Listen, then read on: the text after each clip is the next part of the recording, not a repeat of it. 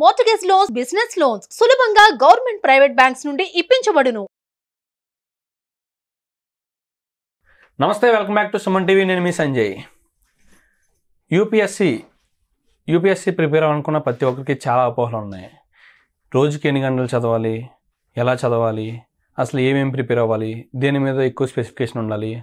అసలు ట్రైనింగ్ ఇన్స్టిట్యూట్కి వెళ్ళి ట్రైన్ అవ్వాలా? లేకపోతే మనకు మనం చదువుకోవాలా? ఇలాంటి ఎన్నో ప్రశ్నలు ఉన్నాయి. ఇలాంటి అపోహలన్నీ మనకు తీర్చడానికి మన ముందున్నారు ఢిల్లీ ఆంథ్రపాలజిస్ట్ ఫ్యాకల్టీ శివ్ గారు. ఆయనతో మాట్లాడి కొన్ని విషయాలు తెలుసుకుందాం. నమస్కారం సార్. నమస్తే. యూపీఎస్సీలోని పాస్ట్లోని పాస్ట్కి ఇప్పటికి ఎలాంటి చేంజెస్ జరిగినాయి అండ్ ఫ్యూచర్లో ఎలాంటి చేంజెస్ జరగబోతున్నాయి? ఫాస్ట్కి ఇప్పటికి డిఫరెన్సెస్ ఏముందో కొంచెం చెప్తారా? యాక్చువల్గా పేపర్ అనేది చాలా వరకు ఎవాల్వ్ అవుతూ వచ్చింది. మెయిన్గా అప్పట్లో ఎట్లుండేవంటే క్వశ్చన్స్ చాలా స్ట్రేట్ ఫార్వర్డ్గా అడిగేవాళ్ళు. సూ సూటిగా ఉండేవి. అంటే ఇట్లా చదువుకొని పోయినాము ఇది మనకు బాగా అర్థమైంది మనకు తెలుసు అని అంటే మనం రాసేయగలుగుతాం. అంటే వచ్చేస్తుంది మనం చేయగలుగుతాం. అప్పట్లో. ఎందుకు అని అంటే కాంపిటీషన్ ఎంతమంది ఆ పరీక్షకు అప్పుడు. రాసేవాళ్ళు వాళ్ళు ఏ విధంగా ప్రిపేర్ అయ్యేవాళ్ళు అనే దాన్ని బట్టి కాంపిటీషన్ ఉండేది. కానీ క్రమంగా ఏమవుతుందంటే కాంపిటీషన్ అనేది పెరుగుతూ వచ్చింది. ఇప్పుడు ఎవరైనా ఎలిమినేషన్ పెంచాలి. అంటే ఇప్పుడు వెయ్యి మందిలో తీసుకోవడం వేరు లక్ష మందిలో వెయ్యి మంది తీసుకోవడం వేరు. సో ఆ కాంపిటీషన్ పెరగడం వల్ల ఆ ఎగ్జామినేషన్ కూడా అట్లనే ఎవాల్వ్ అవుతూ వచ్చింది. ఎందుకంటే మోర్ డైసీ అంటే చాలా వరకు అది ఎట్లా అంటే మనము చదురంగం ఆడినట్టే అది ఇంకా. సో అందులో చాలా వరకు అది గేమ్ లాగా అయిపోయింది. Over a period of time కాకపోతే ఇర్రెస్పెక్టివ్ అంటే అది irrespective of the change change అయినప్పటికీ యూపీఎస్సీ అనేది ఒక ప్యాటర్న్ మెయింటైన్ చేస్తూ వచ్చింది. ఓకే క్లియర్ చేసిన వాళ్ళే మళ్ళీ మళ్ళీ చేయగలుగుతున్నారు. ఎందుకు అని అంటే దాన్ని అర్థం చేసుకోగలిగినారు. సో చాలా వరకు ఇప్పుడు డిజిటల్ మార్కెటింగ్ ఎక్కువ అవ్వడం వల్ల అండ్ డిజిటల్ మీడియా వల్ల జనాలకి అది రీచ్ అవుతుంది. ఏం చేస్తే క్లియర్ అవుతుంది అని. అవుతుంది కాకపోతే ఏంటంటే తెలిసినా కూడా వాళ్ళు ఎగ్జామ్లో చేయలేకపోతున్నారు. ఓకే ఇది చేస్తే మనకి ఎగ్జామ్ క్లియర్ అవుతుందని తెలుసు. తెలుసు. అయినప్పటికీ చేయలేకపోతున్నారు. ఎందుకు అని అంటే అదొక ప్రాసెస్ ఆ ప్రాసెస్ని మనం ఒక నాలుగు నెలలు ఆరు నెలలు కంటిన్యూస్గా అందులో ట్రైన్ అయితేనే ఆ స్కిల్ అనేది మన లోపలికి వస్తుంది. అప్పుడే మనం అది పెట్టగలుగుతాం. క్వశ్చన్స్ అనేవి చాలా కష్టంగా కూడా తయారు చేస్తున్నారు. మారుతుంది పేపర్. పేపర్ కష్టంగా అవుతుంది. అంటే ఇప్పుడు ఎట్లా అంటే నువ్వు ఒక బుక్ చదువుకొని పోతావు. అసలు ఆ బుక్లోంచి క్వశ్చన్ ఉండదు. అంటే ఏ మనిషి అయినా ఏం చేస్తారు? ఇది చదువుకొని. చదువుకుని వెళ్తారు. చదువుకొని వెళ్తారు. కానీ ఆ బుక్ నుంచి క్వశ్చన్ ఉండదు. కాకపోతే నీకున్న ఆ అవగాహన నువ్వు రోజు చూస్తున్న వాటిల్లో నీ కరెంట్ అఫైర్స్ న్యూస్ న్యూస్కి సంబంధించి వచ్చిన వాటిల్లో అండ్ నువ్వు బుక్లో చదివిన వాటిల్లో అన్నిటికీ రిలేట్ చేసి ఆ తెలియని దాంట్లో కొన్ని స్టేట్మెంట్స్ పెడుతూ ఉంటాడు. ఓకే. సో ఎట్లా ఇస్తాడంటే పేపర్ వంద క్వశ్చన్లలో నువ్వు యాభై క్వశ్చన్లు ప్రాపర్గా అంటే యాభై క్వశ్చన్లు వచ్చినా కూడా నీకు ఎగ్జామ్ క్లియర్ అవుతుంది ఓకే. అట్లా ఉంటుంది. కాకపోతే యాభై ఎవరికి రావు. ఒక నలభై వరకు మ్యాక్సిమం నలభై కూడా చాలా కష్టం. అంటే అటు ఇటుగా ఉంటారు. ఒక ఇరు ముప్పై వరకు బాగా వచ్చినవి ఉంటాయి ముప్పై ఐదు వరకు బాగా వచ్చినవి ఉంటాయి మిగతావన్నీ అటు ఇటుగా ఉంటాయి. అందులో ఆ రిస్క్ టేకింగ్ యాటిట్యూడ్ కావాలి. ఒకవేళ తప్పు పెడితే నెగిటివ్ అయిపోద్ది. లేదు పాజిటివ్ అంటే పాజిటివ్ వెళ్ళాలంటే చాలా ఛాన్సెస్ తక్కువ. సో ఈ రిస్క్ టేకింగ్ యాటిట్యూడ్ ఉంటుంది.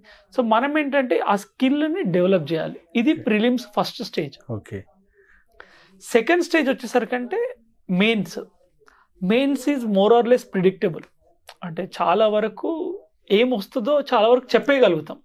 ఫస్ట్ స్టేజ్లో అట్లా చెప్పలేము. ఓకే సెకండ్ స్టేజ్లో చెప్పగలుగుతాం. కానీ సెకండ్ స్టేజ్లో కొన్ని స్కిల్స్ కావాలి. ఏంటి అని అంటే ప్రాక్టీస్. కంటిన్యూస్గా ప్రాక్టీస్ చేయాలి. ఎందుకంటే మూడు గంటల్లో యాభై పేజీలు రాయాలి. అది ఆలోచించి రాయాలి. సో నీ మైండ్ హ్యాండ్ ఆ కనెక్షన్ ఏదైతే ఉంటుందో సూపర్ స్పీడ్గా ఉండాలి. So second stage mains. మెయిన్స్లో చాలా వరకు ప్రిడిక్ట్ చేయగలుగుతాం ఏమొస్తాయని ఓకే అది తెలుసు. ఏం అంటే ఇది చదువుకుంటే ఇది వస్తుంది ఈ ఏరియాల నుంచే వస్తుంది అని. కాకపోతే అక్కడ కావాల్సిన skill practice more amount of practice. And ఇంకొకటి ఏంటంటే క్లారిటీ ఆఫ్ ఎక్స్ప్రెషన్ అంటాం. అంటే మనం అనుకుంటాం ఒకటి అది అనుకున్నట్టుగా పెట్టడం అక్కడ. చాలా వరకు మనం ఒకటి అనుకుంటాము కానీ. రాసినప్పుడు అది వేరే. వాళ్ళకి అంతే క్లియర్గా వెళ్ళదు. అవును సార్. సో ఈ క్లారిటీ ఆఫ్ ఎక్స్ప్రెషన్ కావాలి. సబ్జెక్ట్ అందరూ సమానంగానే చదువుతారు. ఇంకొకటి ఏంటంటే సబ్జెక్ట్ అందరూ కామన్గానే చదువుతారు. కాకపోతే అనలిటికల్ ఆస్పెక్ట్ అనేది చాలా పెంచేశాడు అనమాట అంటే నేను ఇది డైరెక్ట్గా చదువుకొని వెళ్ళిపోతా దాంతో నేను రాసేస్తానంటే సరిపోదు. అంటే దాని గురించి నీకు పూర్తి అవగాహన ఉండాలి. దానికి సంబంధించిన అడ్వాంటేజెస్ ఏమున్నాయి? దానికి లిమిటేషన్స్ ఏమున్నాయి? ఒకవేళ లిమిటేషన్స్ ఉన్నాయి. అంటే ఇప్పుడు. మనకి ఒక ప్రోగ్రామ్ వచ్చింది ఒక పాలసీ గవర్నమెంట్ క్రియేట్ చేసింది. ఇంతకుముందు రైతు బంధు ఉంది. రైతు బంధు చాలా మంది ఫార్మర్స్కి హెల్ప్ చేస్తుంది అని ఒక గవర్నమెంట్ ప్రొక్లమేషన్ ఓకే. అంటే వాళ్ళకి సహాయం చేయాలి మేము మేము కాబట్టి మేము ఇది తీసుకొచ్చినాం అని. ఇప్పుడు క్వశ్చన్ ఏమొస్తుందంటే ఇప్పుడు రైతు బంధు ఏ విధంగా ఉపయోగపడ్డది? దాంట్లో ఉన్న ప్రాబ్లమ్స్ ఏంటి అని అడుగుతాడు. ఓకే క్వశ్చన్ ఎంతమందికి ఉపయోగపడ్డది? అది ఏమిస్తున్నారు అని అడిగాడు. ఓకే. సో ఇప్పుడు ఇంతమంది ఫార్మర్స్లో ఎంతమందికి అది వెళ్ళింది అది ఉపయోగపడ్డది. అది మాత్రమే కాకుండా ఒక ఆస్పిరెంట్ ఏంటంటే okay government is crediting the money to the farmers. అందులో ఎంత బెనిఫిట్ అయ్యారు ఫార్మర్స్? డీప్ అనాలిసిస్ డీప్ అనాలిసిస్కి వెళ్ళాలి. ఓకే. ఎందుకంటే ఇప్పుడు గవర్నమెంట్ బడ్జెట్ మీద టోల్ తీసుకుంటుంది అది. ప్రతి సంవత్సరం గవర్నమెంట్ ఇవ్వాలంటే అండ్ ఇంకొకటి ఎట్లాంటి ఫార్మర్స్కి ఇస్తున్నావు? అంటే వంద ఎకరాలు ఉన్న వాళ్ళకి కూడా నువ్వు ఇస్తున్నావు? అవును సార్. సో ఎవరికి అంటే గవర్నమెంట్ డబ్బులు పెడుతున్నప్పుడు గవర్నమెంట్కి ఒక రెస్పాన్సిబిలిటీ ఉంటుంది. సో అది it's a people's tax so ఆ అనాలిసిస్ అనేది ప్రాపర్గా చేసుకోవాలి. అంటే okay not just from the factual manner అంటే ఒట్టి అక్కడ ఉన్న ఫ్యాక్ట్స్ మాత్రమే కాకుండా దాన్ని బాగా అనాలిసిస్ కూడా చేయాలి. సో ఈ అనాలిసిస్ అనేది ఒక రోజులో రెండు రోజుల్లో నెల రోజుల్లోనూ. రాదు. కాబట్టి దానికి మినిమం ఒక సిక్స్ మంత్స్ అనే ప్రాక్టీస్ చేయాల్సి వస్తుంది. సార్ ఇప్పుడు మీరే అన్నారు కదా ఇప్పుడు ఒక క్వశ్చన్ అడిగిందంటే దానికి డీప్ అనాలిసిస్ కావాలి అని చెప్పేసి అండ్ అది ఒక రోజు రెండు రోజులు వచ్చేది కాదని చెప్పేసి. అంతేకాకుండా ఇప్పుడు యూపీఎస్సీ సిలబస్ వాళ్ళు అడిగే ప్రశ్నలు ఇవన్నీ ఎనలిటిక్గా ఉన్నాయండి ఎనలిటిక్స్గా ఇప్పుడు వీళ్ళు చేసి చాలామంది బట్టి పడి చదువుతుంటారు. అంటే నేను ఏ రకంగా అంటే జస్ట్ దాని మీద సబ్జెక్ట్ వరకే నేర్చుకుంటారు. అంత డీప్ అనాలిసిస్ ఉండదు. అలాంటి వాళ్ళకి మీరు ఏం చెప్తారు? అలాంటి వాళ్ళకి ఎలాంటి ఎలా డెవలప్ చేసుకోవాలంటారు వాళ్ళ స్కిల్స్ని బేసిక్గా మనం చదివే పద్ధతి మార్చుకోవాలి ఫస్ట్ ఇప్పుడు ఏమ ఏమవుతుందంటే మనం ఏ విధంగా అయితే చదువుతున్నామో అది చాలా ఇంపార్టెంట్ ఈ ఎగ్జామ్కి ఇప్పుడు ఫస్ట్ ఒక ఒకే పేపర్ ముగ్గురికి ఇస్తే మూడు రకాలుగా వాళ్ళు అర్థం చేసుకుంటారు. ఒక అతను ఏంది? అందులో ఏముందని మాత్రమే తెలుసుకుంటాడు. ఇంకొక అతను దాని వెనకాల ఏం జరిగిందని తెలుసుకుంటాడు. ఇంకోటి ఇది ఎందుకు ఇచ్చిరని అడుగుతారు. అంటే ఆలోచిస్తారు. సో ఒక్కొక్కరు ఒక్కోలాగా ఆలోచిస్తారు. ఈ ఎగ్జామ్కి ఏంటంటే ఆ మూడు కావాలి. ఓకే. వై అంటే ఎందుకు? ఏముంది అక్కడ? ఎట్లా? So all the aspects. దాన్ని ఆల్ అరౌండ్ అనాలిసిస్ అనేది చేయాలి. ఓకే. అంటే అన్నిటికీ చేయాలా? అట్లా చేస్తూ పోతే సరిపోద్దా టైము? ఎన్ని టాపిక్స్ ఉంటాయి? అని అంటే యూపీఎస్సీ అనేది మెయిన్స్కి ఒక సిలబస్ ఇచ్చింది. మెయిన్స్ వరకు ఆ డెప్త్ అనాలిసిస్ కావాలి. సో ప్రతి దాని మీద చేయలేము ఎవరికి. సాధ్యం కాదు. కాకపోతే ఏంటంటే కొన్ని ప్రామినెంట్ ఏరియాస్ ఉన్నాయి. ఆ ఏరియాస్లో మాత్రం చేసుకుంటూ వెళ్ళాలి. ఒట్టి ఎగ్జామ్ ముందు చేస్తే మాత్రం కష్టం. కాబట్టి. మనం చదివే విధానమే మార్చుకోవాలి. నెక్స్ట్ అక్కడ మారిందంటే ఆటోమేటిక్గా మీకు తర్వాత స్టెప్స్లో సెట్ అయిపోతుంది అండ్ అంతేకాకుండా సార్ మధ్య డిజిటల్ లెర్నింగ్ కూడా చాలా పెరిగింది. అంటే నేను మీరు అన్నట్టుగానే వాళ్ళు ఏ ఇన్స్టిట్యూట్కి కానీ ఏ కోచింగ్ సెంటర్కి కానీ వెళ్ళి చదవలేక డిజిటల్ లెర్నింగ్ చేస్తుంటున్నారు. ఇప్పుడు యూట్యూబ్స్లో కానీ లేదంటే టెలిగ్రామ్స్లో వచ్చే వాళ్ళ సబ్జెక్ట్ నేర్చుకుని క్రాక్ చేద్దామని చాలామంది ఆలోచనలు ఉన్నారు. అది సాధ్యమేనా నిజంగా? అలా కూడా చేయొచ్చు అంటారా?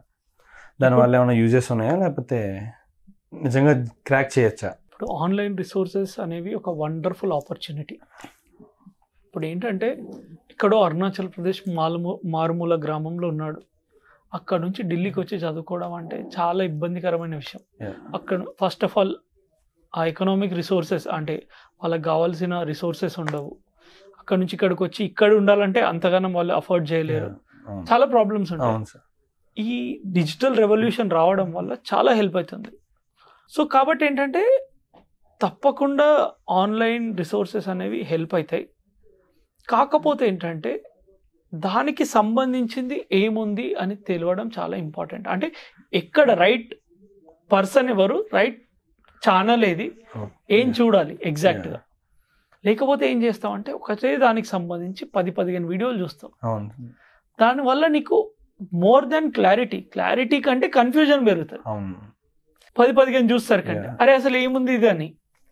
సో కాబట్టి ఏంటంటే knowing the right resource is important. అంటే ఆన్లైన్లో ఇప్పుడు ఏమైపోయిందంటే ఉండడం వరకు మంచిదే కానీ చాలా ఎక్కువ ఉండడం వరకు అంటే ఇప్పుడు ఏది కరెక్ట్ అని తెలుసుకోవడంలోనే కన్ఫ్యూజ్ అయిపోతున్నారు.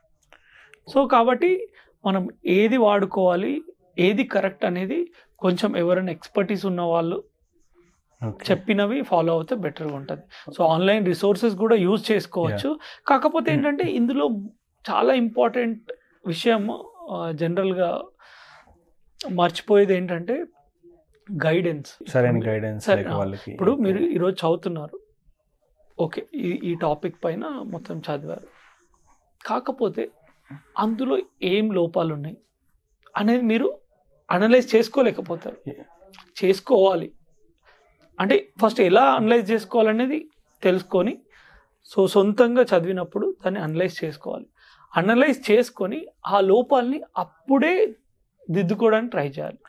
లేకపోతే ఏమవుతుంది అవి అట్లా పేరుకుపోతాయి.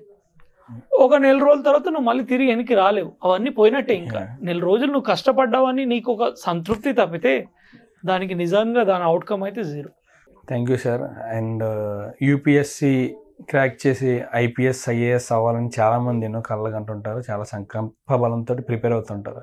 కానీ ఎంచుకునే దారిని బట్టి వాళ్ళ ఫ్యూచర్ చేంజ్ అయిపోతుంటుంది మీ మాటలను బట్టి వాళ్ళు ఒక సరైన పాత్ర నేర్చుకుంటారని కోరుకుంటున్నాను thank you very much. Sir